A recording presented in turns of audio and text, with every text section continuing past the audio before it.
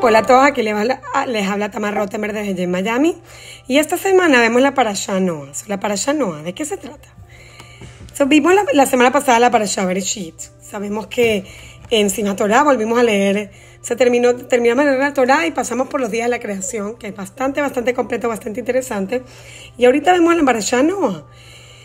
Y hay tantos detalles en la Parashá Bereshit, pero la Parashá Noah es interesante porque es cuando Dios, digamos, destruye el mundo, pero también si, nos ponemos a fijar, no solo que destruye el mundo, le dice a Noah, que es el único que salva a él con su familia, que se monte en el arca de Noah, de, de, de, que, que, arme un arca y se monte él con todos los animales, como sabemos en la historia, él también como que simula los días de la creación nuevamente. Dicen que las aguas de arriba se pasaban hacia abajo, las aguas de abajo se pasaban hacia arriba, y crea como el mundo otra vez porque los animales salen del arca es como si fueran creados nuevamente y el hombre obviamente que sobrevivió fue Noah.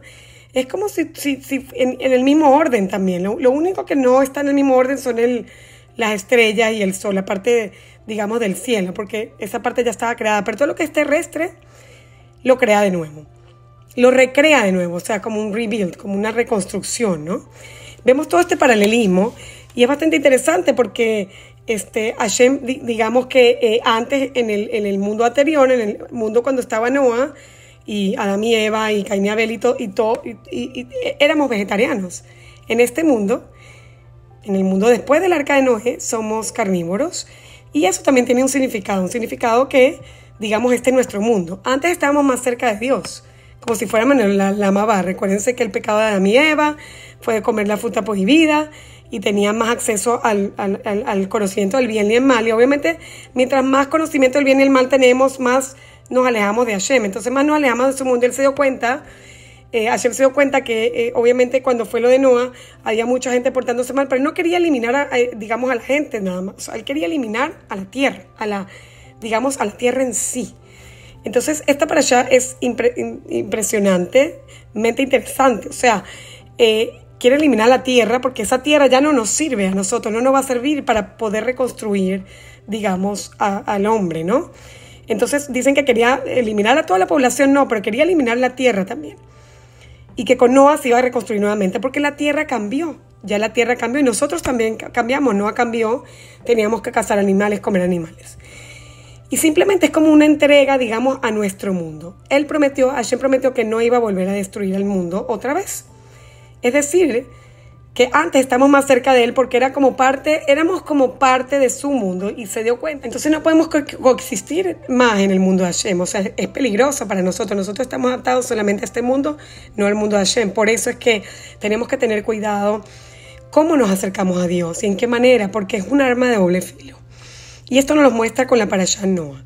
La Parashá Noah quiere decir eso, que el mundo ya está adaptado solamente para nosotros, es decir, que no podemos, Dios no puede entrar a nosotros de la misma manera que solía entrar en el mundo anterior y que si nosotros destruimos este mundo es porque nosotros lo estamos destruyendo, no va a ser por Hashem, va a ser por, por el hombre mismo, por nosotros mismos. Entonces trabajemos eh, porque digamos ahí está lo que es el libre albedrío, está, y por eso nos da la Torah para que nosotros nos podemos guiar en este mundo.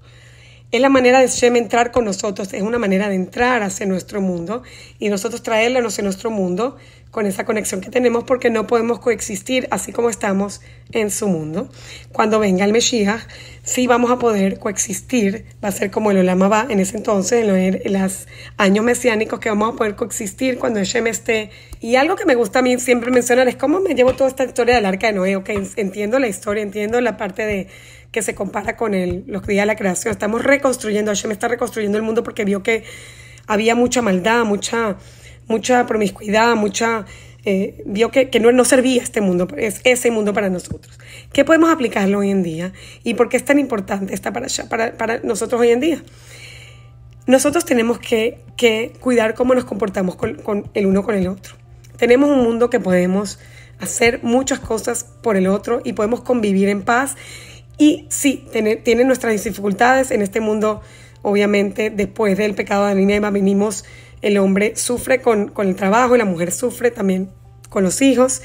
Venimos a sufrir también, pero es parte de nuestro crecimiento. Y si vemos las cosas proactivamente, un poco más positivas y, hacemos, y tratamos de, dejar de fijarnos un poquito en nosotros mismos y fijarnos un poquito más en el otro, vamos a hacer, eh, poder llegar a ese balance que tenemos que tener para nosotros poder vivir en armonía en este mundo. Y así que pueda nosotros, digamos, añorar a tener el mundo que queremos estar con el Mashiach y con Hashem. Que no merezcamos estar en el otro mundo, porque si no, si no tenemos eh, éxito en este mundo, como no, no, tenemos ni chance de estar en el mundo para que venga el Mesías. Entonces es como una preparación, yo creo. Así me lo tomo yo. Es como nos pusieron aquí para una preparación para el mundo venidero y para que podamos merecernos estar con el Mesías. Así como para merecernos estar en Israel, así como merecernos estar más cerca de Hashem, tenemos que merecerlo. Y este es el mundo en el cual nos tenemos que comportar con nuestras limitaciones y dificultades de tal manera que nos merezcamos que venga el Mashiach y que podamos compartir eh, en armonía más cerca de Dios. Con esto los dejo, les deseo un Shabbat Shalom y nos vemos la semana que viene.